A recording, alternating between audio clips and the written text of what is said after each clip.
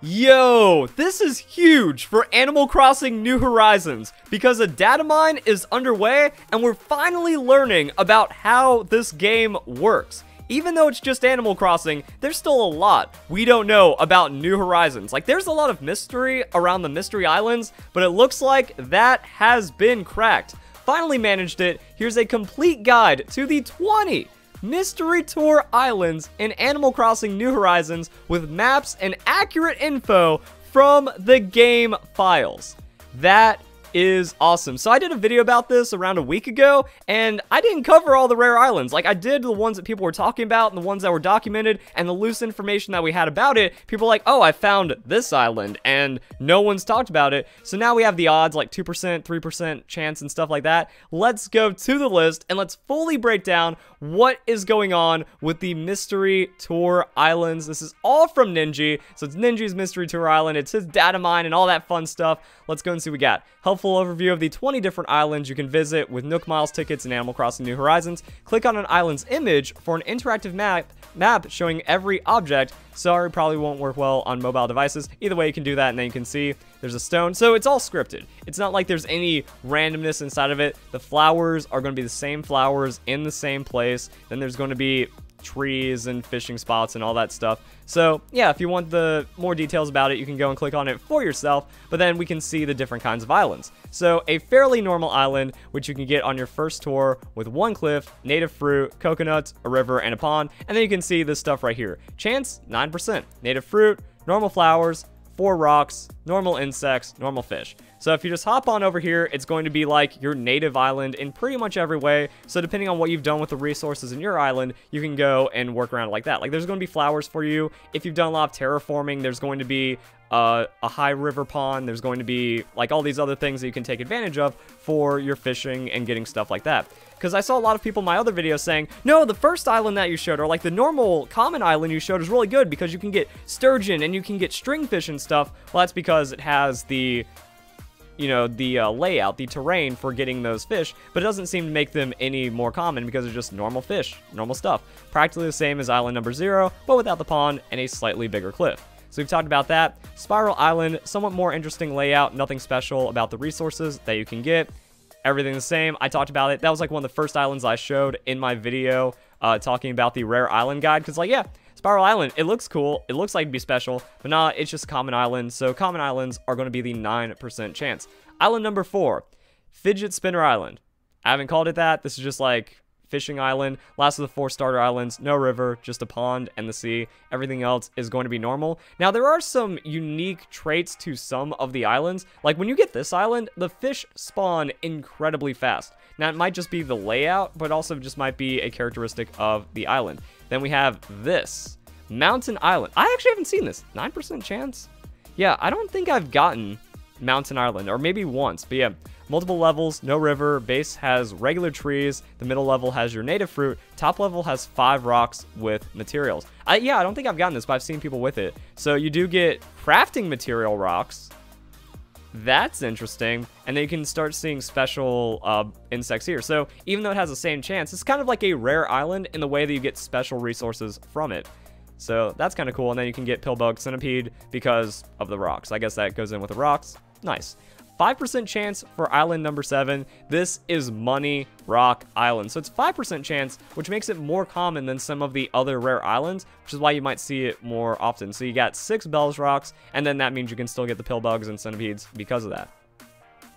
Breaking the rock at the north will let you vault into the island with five money rocks on it, and then there's also a money bag under that rock that you have to break, but fortunately there's fruit trees, so eat a fruit, break the rock, then you go and get all of your Bell's money. Then we have 10% chance for Bamboo Island. Every tree on this island is bamboo. You can get it any time of the year. The most common island you can get out of the 20 statistically. Correct, because of the 10% chance compared to the other 9% chances. Then we have Fruit Island, so Sister Fruit. This is what people were talking about, where it's like, it seems like there's a rare chance of getting your non-native fruit, but there's also a fruit pairing depending on what you have.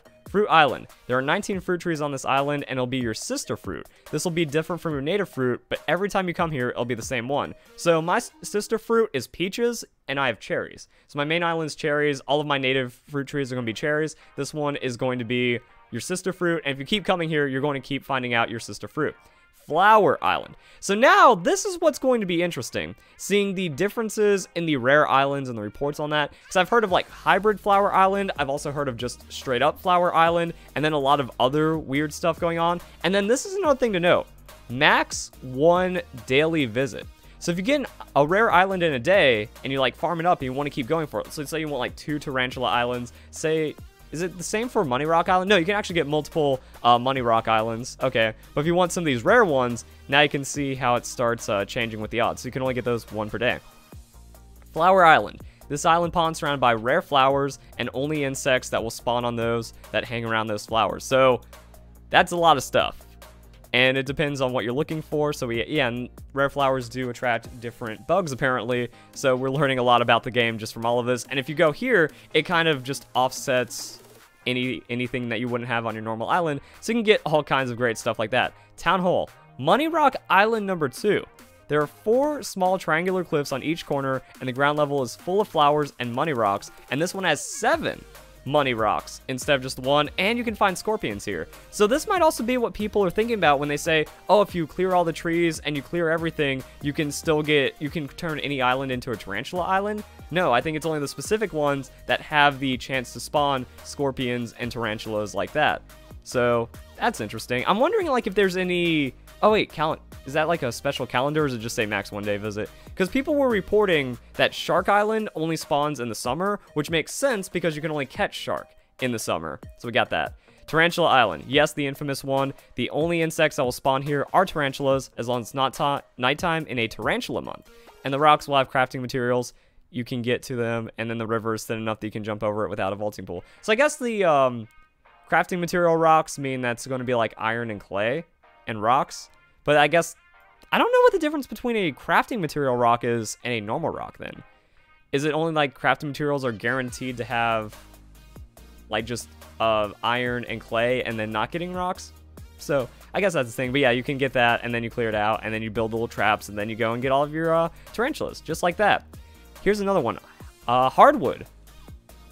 Tree Island. This island has no river or pond, tons of hardwood and coconut trees. The only insects that spawn are those associated with the trees, so it's also really good for insects getting it this way. Native fruit, rare flowers. This is Big Fish Island. All right, so I haven't seen this one yet. I think I've seen it once, but I didn't know it was a rare island. I was like, oh, it's just a random lake, so I'm out. Big Fish Island. This island has rare hybrid flowers, and only fish available are larger ones, including some of the most rare ones. So yeah, that's why we see like all of these uh, high high rivers and high lakes and stuff, so you can catch probably a lot of sturgeon and stringfish and stuff like that, depending on what time of the year that it is. You can also get mantis, orchid, orchid mantis, stink bug, ladybug, man-faced stink bugs, so the bugs that are associated with those flowers, and then all kinds of crazy fish. And Big Fish Island also applies to the sea as well, so that means it's going to be better for getting marlin, coelacanth, Napoleon fish, tuna, or fish. And if I guess if it's raining, still a coelacanth or something. And I don't know. L, L, L, L, L, L, L. I don't know what that means. Huh. Maybe there's maybe there's some kind of is there no there's no key to suggest it. Maybe uh if you click on it, get a little bit more information. Because now I'm confused. One second. Yeah, I don't know. So far, wuffs.org, which is where this is hosted, is only the Mystery Island tour. So we're going to get more information as well from that. Maybe if you know, because I'm just not that like hardcore Animal Crossing savvy, then you can comment it down below and we'll see where that goes. Now this is an island I got when I was doing my rare island video. Or I was like recording for it, but didn't seem that special. But apparently it's the rarest island. Tree Island 2. This island is exactly the same as Bamboo Island, but all the trees are just regular hardwood trees. I got this. And it looks like I missed out on chance of getting a lot of insects because of that. I guess those are like insects that favor uh, hardwood trees or stuff like that. Seems to make sense. And I'm wondering if this is also going to be like calendar related. Like all of these are available as long as it's the right month or season to get those insects. Then we have Curly River Island. There's one square cliff at the northeast, few flowers, small amount of fruit trees, only insect associated with water spawn here. So this is like water insect island, dragonflies, pond skater, stuff like that. It's not like rare, it's an uncommon island. I think that's how we break it down. So normal islands are gonna be 9%, 10%.